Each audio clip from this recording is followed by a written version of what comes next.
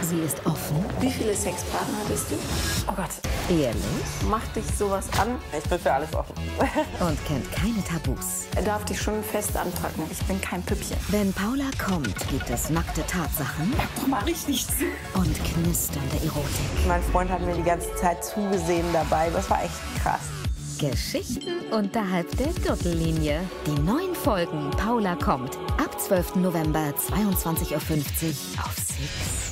Ganze Folgen und Infos zu Paula kommt findet ihr auch auf six.de.